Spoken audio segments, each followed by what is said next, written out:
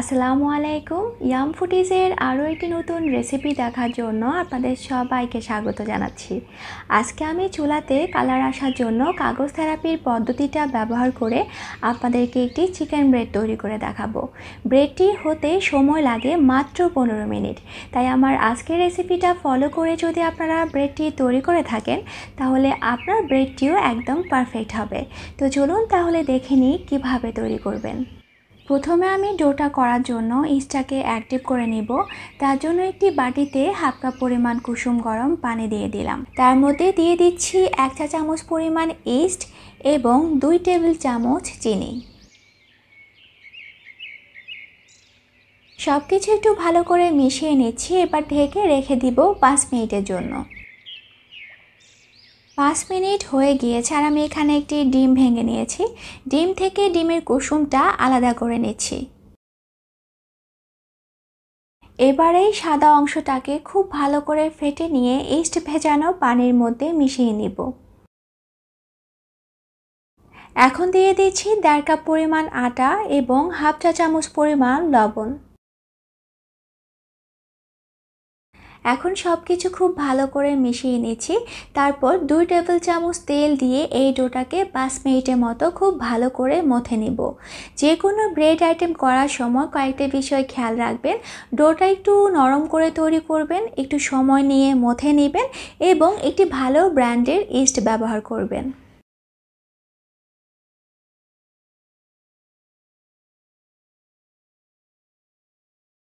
ডোটা মধ্যে নেওয়া হয়ে গিয়েছে, ঠিক এইরকম নরম করে ডোটা তৈরি করে নিতে হবে। এখন আমি ডোটার উপরে এক চা চামচ পরিমাণ তেল দিয়ে ঢেকে একটু গরম জায়গায় রেখে দিব দুই ঘণ্টার জন্য। দুই ঘণ্টা হয়ে গিয়েছে, আপনারা দেখতে পাচ্ছেন, ডোটা কিন্তু ফুলে একেবারে ডাবল হয়ে গিয়েছে। এখন আমি আমার হাত দিয়ে চেপে ভেতরের বাতাসটুকু বের করে নিচ্ছি এবং এই ডোটা দিয়ে আমি একটি রুটি তৈরি করে নিব। কিন্তু রুটিটা তৈরি করার আগে আমি এভাবে দুটি কাগজ বিছিয়ে দিচ্ছি। যেহেতু এই ব্রেডটা আমি পিৎজা ট্রেতে করে চুলায় দিব, তাই এভাবে নিচে কাগজ দিয়ে দিলে পিৎজা ট্রেতে তুলে নিতে সুবিধা হয়। রুটিটা বেলার সময় অবশ্যই মাঝে মাঝে একটু উল্টে পাল্টে ভেতরে একটু ময়দা ছিটিয়ে দিবেন, তাহলে কাগজ থেকে তুলে নিতে আপনার সুবিধা হবে। রুটিটা বেলা হয়ে গিয়েছে, তবে আমি খুব বেশি পাতলা করে নিই, তবে একটু বড় করে বেলে নিয়েছি। এখন একটি ঢাকনার সাহায্যে ঠিক মাছ বরাবর একটি সার্কেল তৈরি করে নিচ্ছি, তবে আপনারা চাইলে এই কাজটা প্লেট দিয়েও করতে পারবেন। এবার একটি পিৎজা কাটারের সাহায্যে চিকন চিকন করে কেটে নিচ্ছি।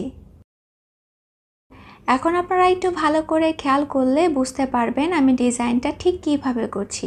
আর আজকের এই ব্রেডে আমি যে ডিমটা ব্যবহার করেছি, ডিমের কুসুমটা অবশ্যই ঢেকে রাখবেন। তা না হলে কিন্তু শক্ত হয়ে যাবে। এই কুসুমটা কিন্তু আমরা পরে আবার ব্যবহার করব।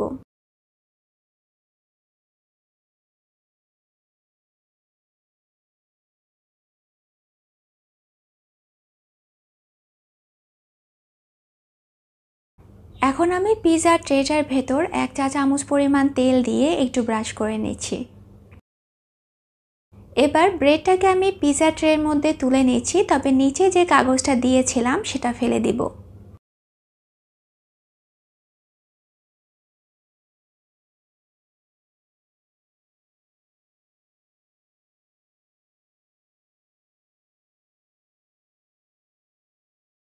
এখন ঢেকে রেখে দিব পনেরো মিনিটের জন্য। পনেরো মিনিট হয়ে গিয়েছে আপনারা দেখতে পাচ্ছেন, ব্রেডটাও কিন্তু অনেকটাই ফুলে উঠেছে।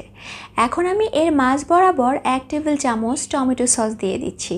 এটা একেবারে অপশনাল, আপনাদের দিতে ইচ্ছে করলে দিবেন, না দিলেও কোনো সমস্যা নেই। এবার আমি মুরগির মাংস দিয়ে ভাজা একটি পুর দিয়ে দিয়েছি। আর পুর ভাজার রেসিপির ভিডিও লিঙ্ক আমি আমার এই ভিডিও ডিসক্রিপশান বক্সে দিয়ে দিয়েছি। আপনারা চাইলে দেখে নিতে পারেন। এখন আমি যে ডিমের কুসুমটা রেখে দিয়েছিলাম, তার মধ্যে এক চা চামচ পরিমাণ লিকুইড দুধ দিয়ে খুব ভালো করে মিশিয়ে নিচ্ছি। তারপর এই মিশ্রণটা এই ব্রেডের উপরে লাগিয়ে নিচ্ছি। এতে করে ব্রেডের উপরে খুব সুন্দর একটা কালার আসবে। এই পাতিলটার ভেতর আজ আমি চিকেন ব্রেডটা তৈরি করব, তার জন্য চুলার আঁচটা কমিয়ে রেখে পাঁচ মিনিটের জন্য ফ্রি হিট করে নিয়েছি। এখন আমি চার পিস নর্মাল কাগজ একটু ভাঁজ করে মোটা করে নিয়েছি, আর এই কাগজটা আমি পাতিলটার ভেতরে দিয়ে দিচ্ছি। তার উপরে একটি স্ট্যান্ড বসিয়ে দিচ্ছি, আর যে আপুদের ব্রেড চুলাই করার পর কালারটা আসতে চায় না, আপনারা যদি এ ধরনের পাতিল এবং এভাবে কাগজ ব্যবহার করে থাকেন, তাহলে অবশ্যই অবশ্যই আপনাদের ব্রেডেও খুব সুন্দর একটা কালার আসবে। এখন আমি এই ব্রেডটাকে ঢেকে চুলার আঁচটাকে প্রথম দুই মিনিট লো এবং মাঝারির মাঝখানে রাখব এবং পরবর্তী ১৩ মিনিট চুলার আঁচটাকে কমিয়ে দিব। পনেরো মিনিট হয়ে গিয়েছে, আপনারা দেখতে পাচ্ছেন ব্রেডটার ভেতর কত সুন্দর একটা কালার এসেছে। আর পনেরো মিনিটের ভেতর হয়ে যাওয়ার কারণে এবং এর চেয়ে বেশি সময় চুলায় না রাখার কারণে আমি আপনাদেরকে এই চিকেন ব্রেডটা ছিঁড়ে এবং নিচের অংশটাও দেখিয়ে দিব যে কতটা পারফেক্ট হয়েছে। তবে অবশ্যই চুলার আঁচটা বাড়াতে যাবেন না, তাহলে কিন্তু কাগজটা তাড়াতাড়ি পুড়ে যাবে এবং আপনার ব্রেডের স্বাদটা নষ্ট হয়ে যাবে। তো আমার আজকের রেসিপিটা ফলো করে অবশ্যই বাসায় তৈরি করে দেখবেন। রেসিপিটা কেমন লেগেছে জানাতে কিন্তু একদমই ভুলবেন না। কথা হবে আপনাদের সাথে অন্য কোনো ভিডিওতে নতুন কোনো রেসিপি নিয়ে। সে পর্যন্ত ভালো থাকবেন সবাই। আল্লাহ হাফিজ।